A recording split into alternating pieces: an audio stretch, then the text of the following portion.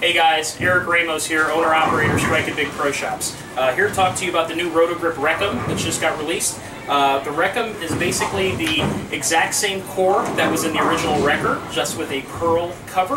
Um, I decided to go with the exact same layout that I put on my original Wrecker, which was a 50 by 3 by 65. Uh, I spin it quite a bit, so uh, my PAP is 3 and 3 quarters over, 7 eighths up.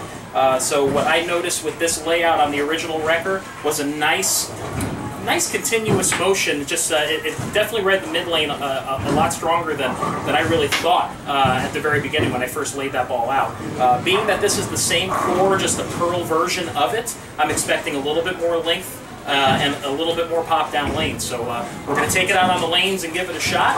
Um, for those of you who are interested or have any questions about the new Roto Grip WreckEm, uh, they're retailing for $149.99 at all four of our locations. Uh, the ball is available immediately. And uh, yeah, hashtag strike it big. We'll see you guys out on the lanes.